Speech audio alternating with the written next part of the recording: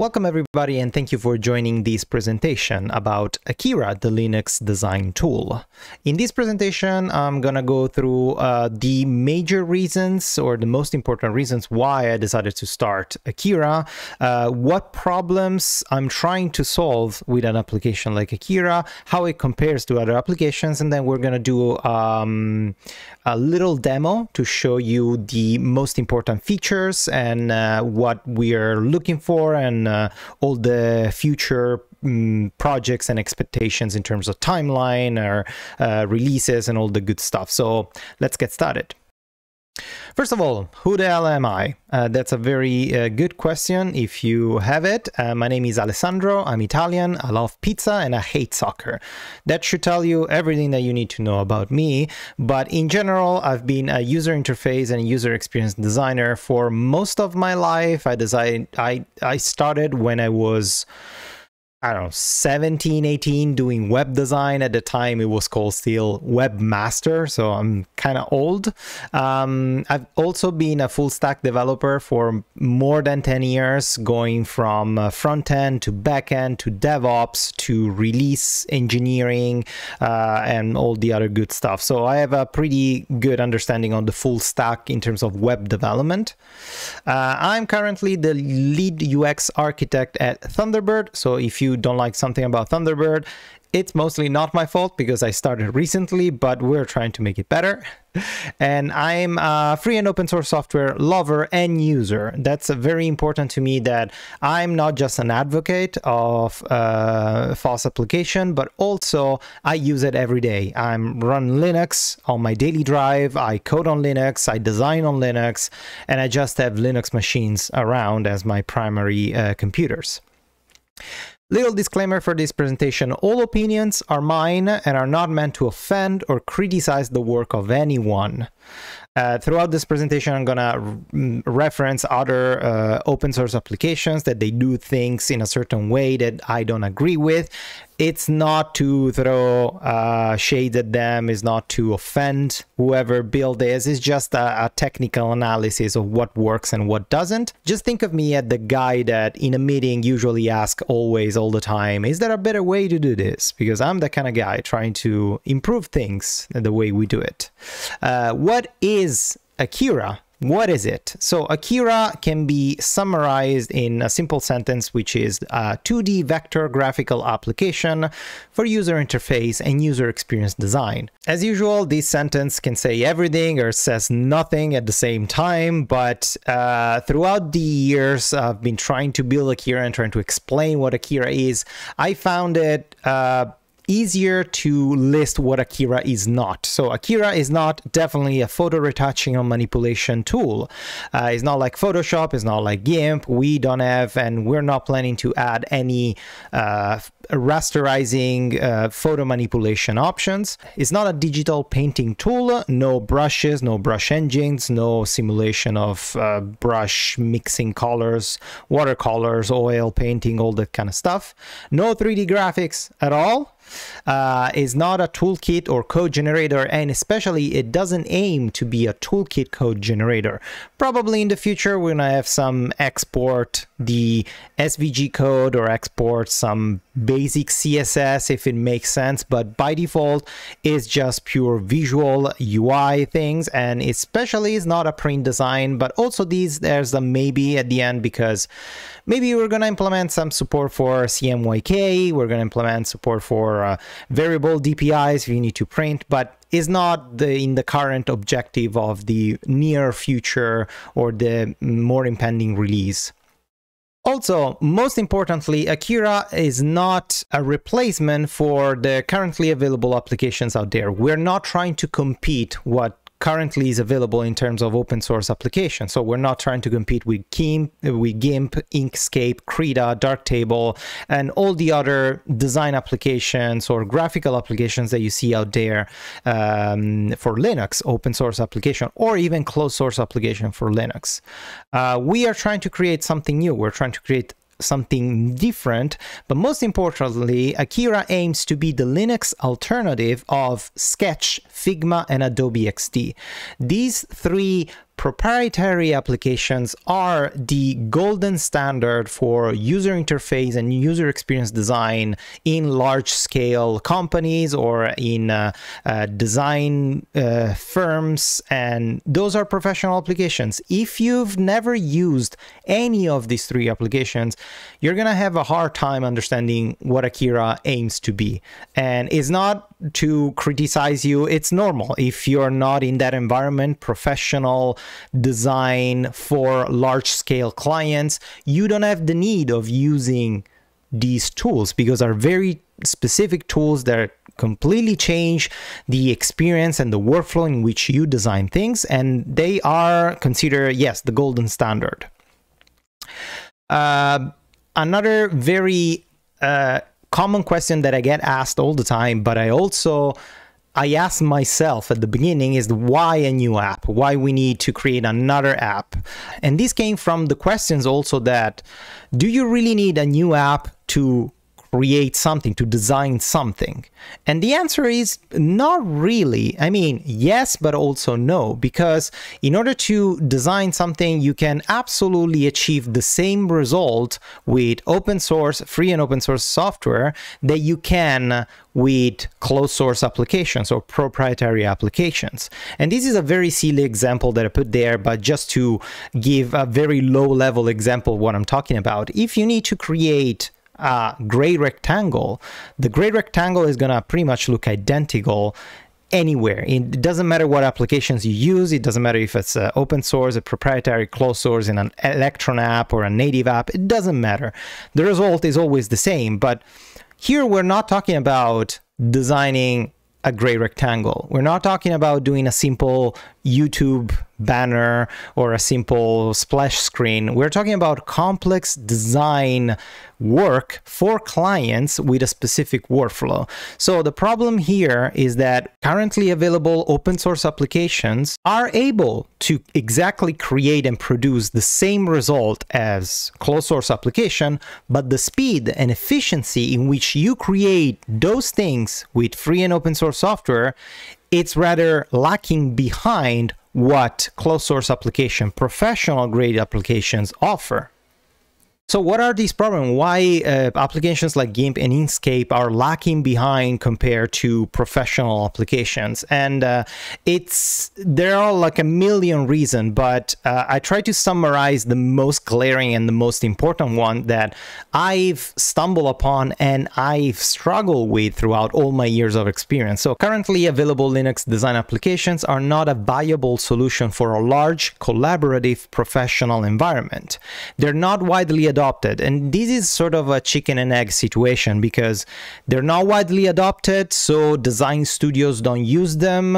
And because design studios don't use them, they're not widely adopted and they cannot get the market in order to be relevant. And uh, this is more an issue of the design application itself is not challenging enough, is not feature complete enough, or not comparable enough to professional design tools. So they're not adopted and will never get adopted. And if you start uh, doing professional design work on a large scale studio or for clients, 99.9% of the time you will find someone that uses Sketch or Figma or Adobe XD. That's it. Uh, they're not compatible with each other. This is also one of the huge problems. If you do a, a very complex design uh, uh, file in GIMP, good luck opening with Inkscape and vice versa. It doesn't exist an easy bridge between all these applications to open each other's files or even import some assets from those files, not even opening the entire file, just importing some assets. They're very disconnected between each other. Uh, the usability and user experience paradigms are extremely outdated on these applications. And and a little example is that if we consider GIMP an uh, alternative to Photoshop, that it's pretty similar to Photoshop and is trying to emulate Photoshop, and Inkscape as an alternative competitor to Illustrator, imagine that Adobe, the company that owns Photoshop and Illustrator, had to create a completely separate app called Adobe XD because Sketch and Figma were taking market share from them.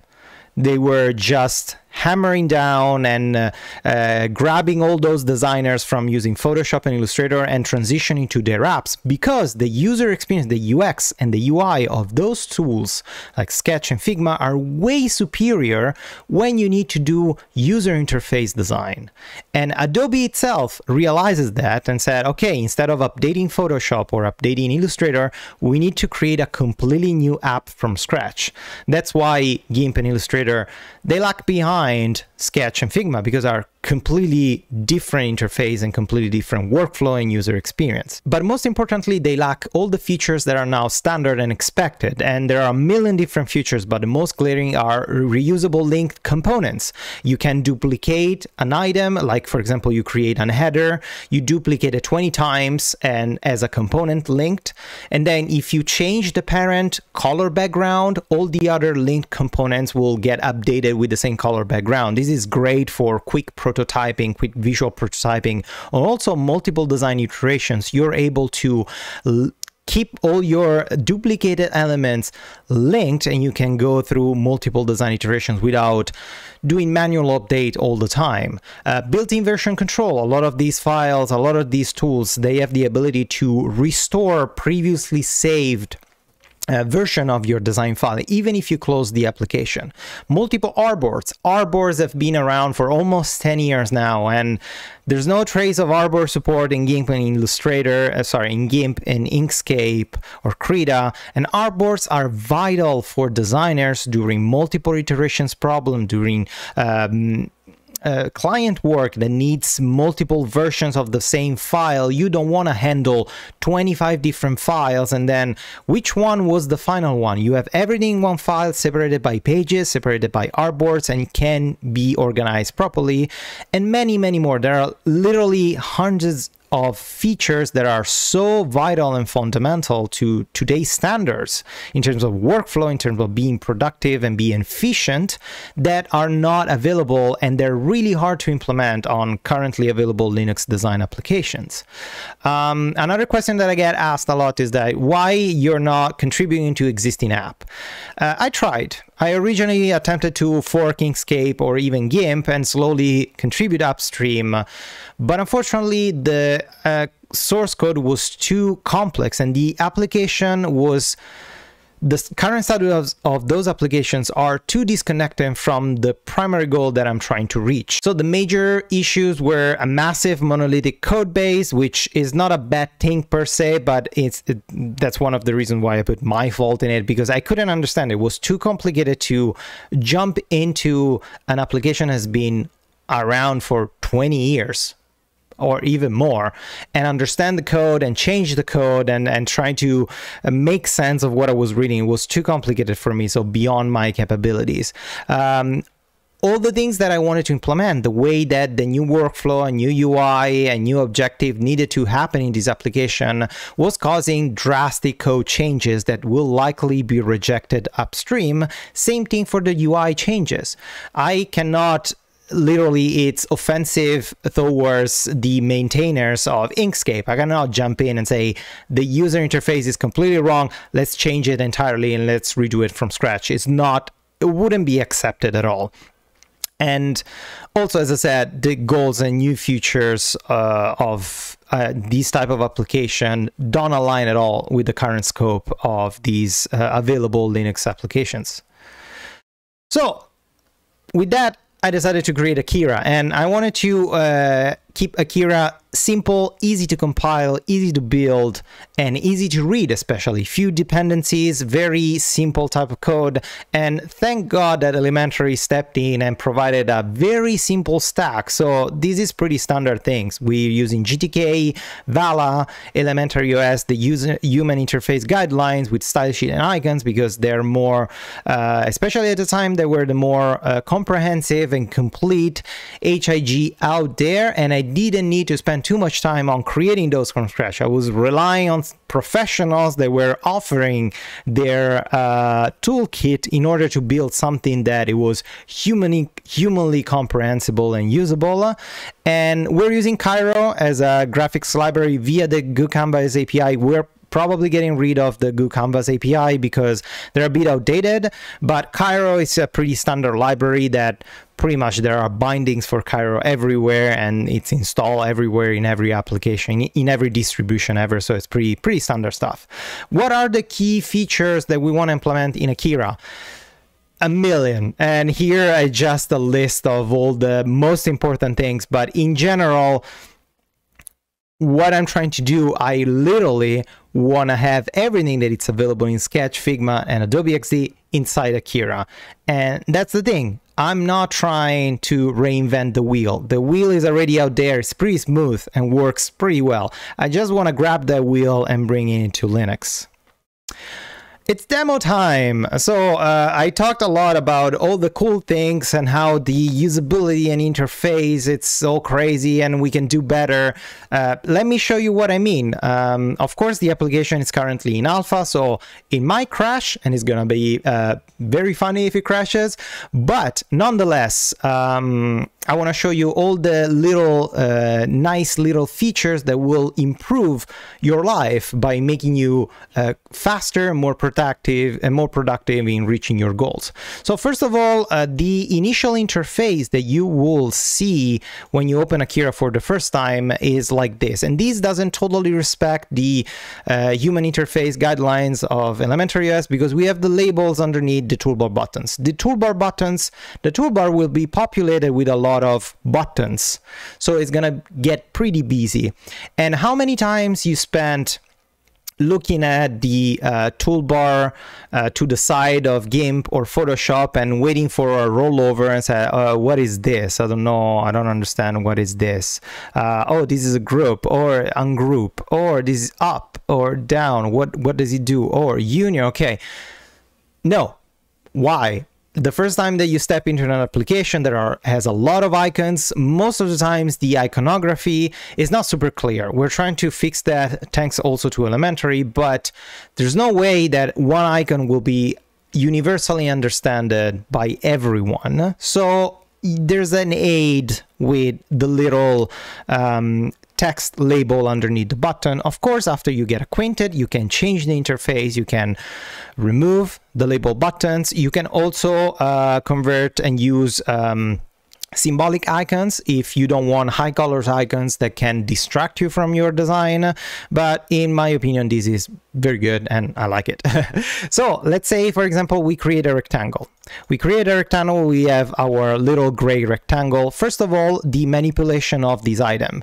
Uh, if I rotate this item and I shrink it from the size of course it respects the local uh, coordinates of this item and it follows the local coordinates. If I deselect it and select it again, the rotation of the selection is remembered. It doesn't get reset to the regular bounding boxes like like for example it happens on Inkscape and you can still resize it by its own local coordinates. Instead on Inkscape it just reset it to the bounding box and you end up having something like squishing it and skew it to the side is not very optimal. So we maintain this. Um, also, if you notice to the side, if you don't select anything, the panel is disabled. All the options are hidden because that's something very important. The user interface should update to show the user what it can do at that time and what cannot do. So if you don't have anything selected, you're not interacting with anything, we don't need to show you that you can actually click on reorder up and down or uh, boolean operations or you can change the opacity because you don't have anything selected. Uh, so if we uh, check if we select it again, now we have a bunch of options. For example, the border radius, we can control it and shrink it. We can change the color of the item. Uh, we can change the opacity. We can add a border. Uh, we can put uh, like a green border. Uh, I don't know, 27 pixel. If I create an ellipse or a circle, you see we kind of have the same options here. Uh, the panel is enabled, the opacity we have, we have the fields, but the border radius is nowhere to be found because of course uh, an ellipse or circle doesn't need to have the border radius option. So the UI is smart enough to understand that, okay, this item, this component doesn't have the border radius attribute, the border radius component, don't show that panel because that panel is just useless. Another thing that we focused a lot was the ability to quickly select your uh, shape, the shape that you needed to select at that time. So for example, this is a pretty absurd um, example, but that might happen. You have something like this, right? You have uh, hundreds of different shapes that are all uh, squished together, and then you have an ellipse with the same exact color, and you put the ellipse on top. And now you need to select the ellipse. Uh, good luck in trying to find it what it is. But if you notice here, when you go roll over on an item, to the side to layers panel, we hover also the corresponding layer. And this option works also the other way. If you select or you go and roll over an item on a layer, look what happens on the canvas. The layer matches of course the binded canvas item and the item gets highlighted so you need to select that circle select that circle and you can drag it and put it out it's pretty straightforward uh, you also have, you, as you notice, we have some smart snapping here that recognize all your uh, sections. So if you have something like this, this situation, you want to central line it, it recognizes the most adjacent uh, close by item and snap it to its edges. It recognizes also the center alignment, the left and right alignment, or complete like total center. Of course, you're in this situation, you're interacting with this, so we automatically kind of ignore that you don't want to interact with this mess of item because it's not necessary, it's not useful right now. If you get closer, you can interact with them, of course, but uh, the UI, as I said, it's trying to be smart and trying to help you with what you need.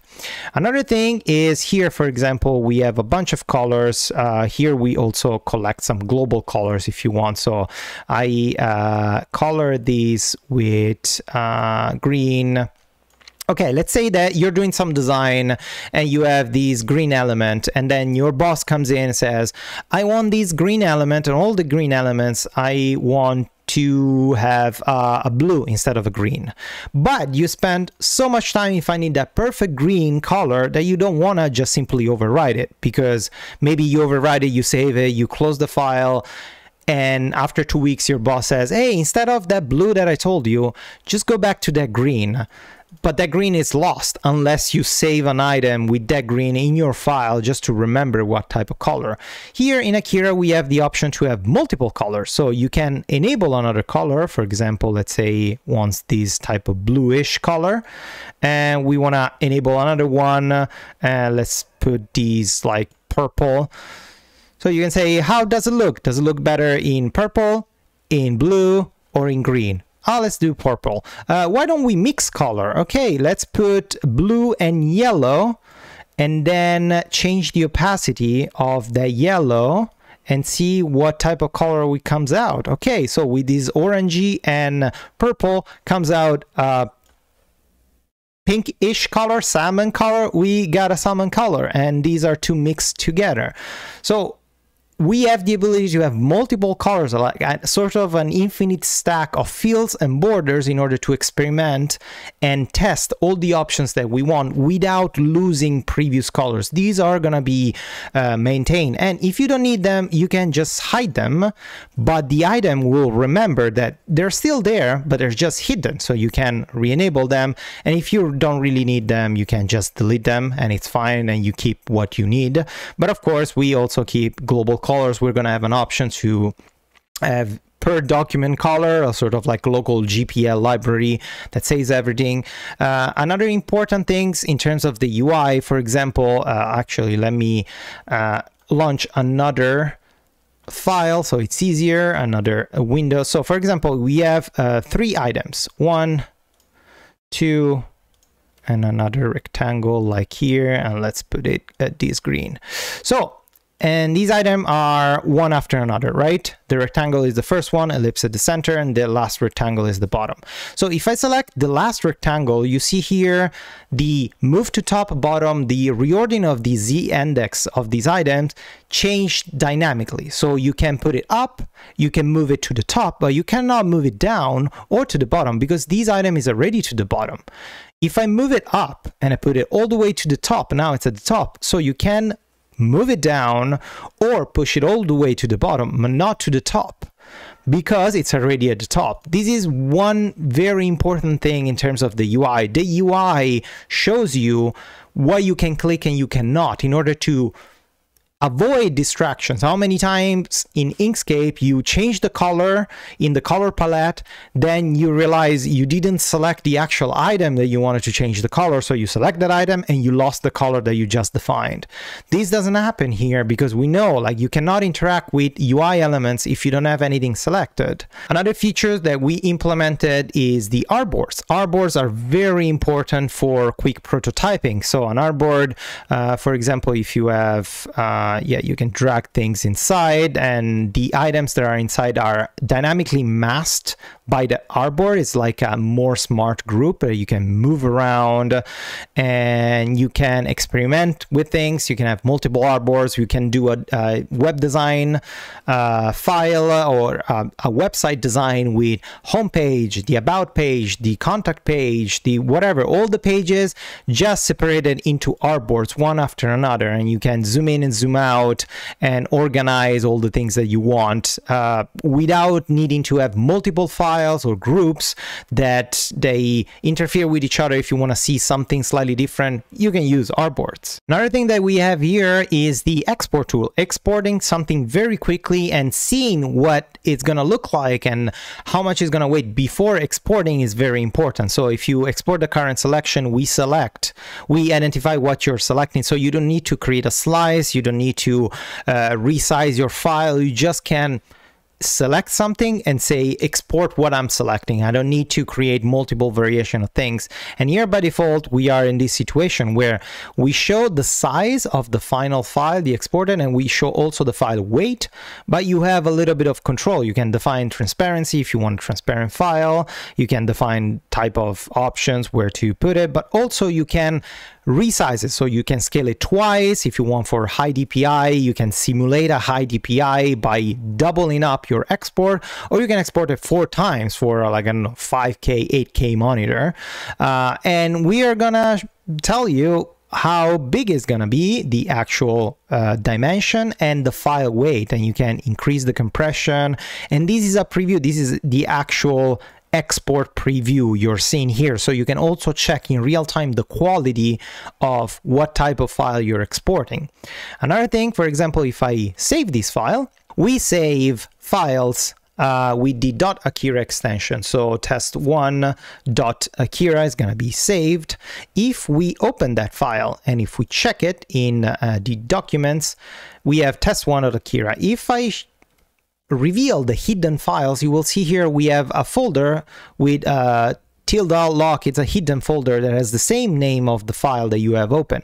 In this folder, it's basically the Akira file is a zip file, a compressed file that handles everything and has built in a GitHub local GitHub repository that every time you save, it will create a separated commit with what you saved because all your canvas with all your items is just a simple text JSON file with all the information, all the attributes. You have an artboard, you have the artboard one, what type of components, you have the second artboard, you have the item, which is a rectangle with all the attributes and whatever. So it's just pure text that we can also compress these JSON files and it's going to be super lightweight and being just text saved, we're not handling um, complicated code or proprietary code. It's just plain open JSON with very simply readable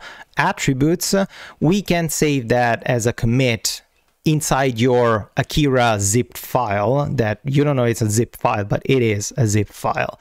Uh, this will give you the flexibility to go back in time, uh, scroll visually the different uh, commit in the commit history, we're going to save a screenshot of the current canvas whenever you save. So you have a visual representation of your uh, commit uh, at that point in time, and you can revert it back to what you need. Uh, there are other a million different things. Like you can, of course, resize from the center. You can resize locked. Uh, you can flip it. You can rotate it. You can control the opacity. Uh, we have other options here. Import images. There are some very good options here to control the snapping of the canvas, the default type of shapes. If you want to create always a shape with a purple and a border of six, seven pixels, this is the default. So it doesn't matter what you create, always will respect the default and you can control that. So lots of options. This is just an alpha state. So a lot of things are missing, but we're working hard to deliver a first usable beta that it's going to be almost ready for production or partially ready for production. So uh, yeah, this is very exciting. And to conclude, of course, if you're interested in the development of Akira, you can follow us on GitHub. We use GitHub for everything. We have the discussions to discuss new features. Even if you're not a developer, you can check and you can participate as a designer because we use the discussions to visually prototype the features that we want to implement. If we want to uh, change something, improve something, uh, or you can follow us on social media. Of course, we are on Twitter, on Fosstodon. And if you're so inclined, you can donate to the project via Liberapay or Patreon Patreon. Yeah, thank you so much for watching, and I hope you will follow and use Akira whenever it's going to be released. thank you. Welcome. All right. Now, joining us for a live Q&A is Alex and co-founder Cassidy. Gentlemen, that was a great talk, and I know we got some questions that came in. Thank you for being here. Yeah, Thank thanks for, for, having me. Sorry. Thanks for joining us, Alex. Um, Thank yeah, we so had some great questions from the chat, and uh, also just had some questions when I was watching your talk that I had um, for you. Uh, for let's starting off, you know, what about Elementary OS specifically made you choose it as the platform for Akira?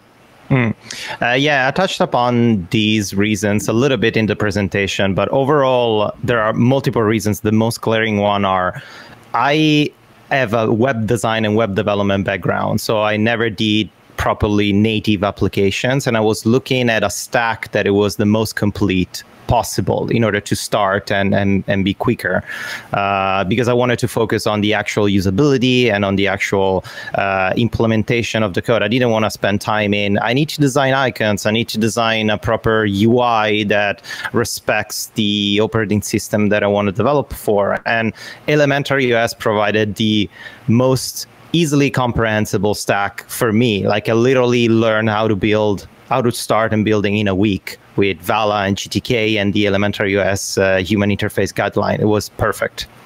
Awesome, yeah. And now with um, technologies like Flatpak and especially with App Center for Everyone, um, it's easier than ever to target Elementary OS but distribute on other platforms as you see fit as well. So that's kind of exciting to see an awesome app like Akira um, there. Now I know we were chatting a bit um, earlier about some upcoming fill features. Um, can you share just some some of the more examples there? Um, the layering, the different fills. Oh yeah, uh, yeah. That was one of the many many features I always loved about Sketch and Figma: the ability to add multiple fields or multiple color borders on the same shape and hide or remove which one I didn't want to use. Uh, in the future, we're gonna also add the ability to uh, switch the type of field. So you will have a linear gradient or radial gradient or even an image. So you can literally have uh, like a background uh, color, like a flat color, and on top you can have a dark overlay gradient with a 50% opacity. And on top of that you can also have an image with a 20% opacity. So you can create some sort of like easily quick prototype the usual like headers that you see in website with an image that has a little bit of opacity. You don't need to add an image and mask it to the shape that you want to mask it and then reduce the opacity. Everything is in the fields color panel of that same shape. So it's easily manageable Yeah, yeah. It seems like such a simple feature, but um, it makes it really powerful to, to prototype different things, and, and that's really cool. It's it's yeah. not. Unfortunately, it should be simple. It's not because SVG, the SVG coding standards, they don't have like. Uh, it doesn't have that type of standards accepted so it needs to be something custom. And in the code we are calculating all the mixing. We're mixing colors or uh, in order to just apply a simple color to the single shape. It's going to be interesting to see how we're going to manage it with images but it, it's doable. Yeah. So speaking of things that are nice and simple for users but complex to implement, um, Colin had a question. Are there any plans for adding online collaboration features to Akira? Oof, uh, 100% yes. How doable it is, we have no idea, uh, but we will. Uh, we will try to do it. It's very important to have uh, uh, at least like very basic collaboration in terms of multiple people connecting and leaving comments on the design that you're looking at. Not even interacting with design, but just leaving comments or clicking on things and pointing on things. That's very important. So we're going to try to implement that in the future 100%. That's something that we want to have. Gotcha. Yeah. Yeah. Um, another, I guess, feature feature request maybe here. Carlos asked, could Akira implement the Unsplash API in the future? It would be a great integrated image source. Yes, absolutely. Uh, that's one of the many things that we want to implement. Uh, we are gonna start implementing some uh, external plugins. So we will have some um, um, bare bone code to show developers how to create plugins for akira. And one of the, the, the two main plugins that we're planning to implement is the unsplash api to add images super quickly to a shape or directly in the canvas. And also the um, uh, the noun project is an icon uh, website, uh, icon pack, like it's just an icons gallery that has some great API. We're going to implement also that, that you can directly import SVG icons or uh, load SVG icons from that library. So we're going to have uh, those external APIs every time there's something open source and free and easy to use. We're going to integrate that to speed up development and design prototype inside Akira. Awesome. Yeah, that sounds really awesome. Having having those things built into your tooling can make such a, a difference with tape, saving time. Yeah. Uh, Sean Davis asks, how many people regularly contribute to Akira? Is it a one-person show or more? Uh, it really depends. Uh, I would say it's a two to three person show. Sometimes, uh, most of the times is is just me. I I'm the one that almost codes every day. Uh, but we have a couple of other people that are contributing right now, and it's very uh, like seasonal. Sometimes we have a couple of contributors that are very involved every day, every week for like two months, and then they disappear because life happens. Uh, so it's it's it's hard to quantify, but yeah, it's an average of two, three people, kind of yeah. always present. Yeah, makes sense. Um, Stanislaus says, "Will there be uh, elementary UI assets in Akira?" Uh, yes, absolutely. Uh, one of the many plugins that we wanted to develop is also um, uh, UI toolkit import.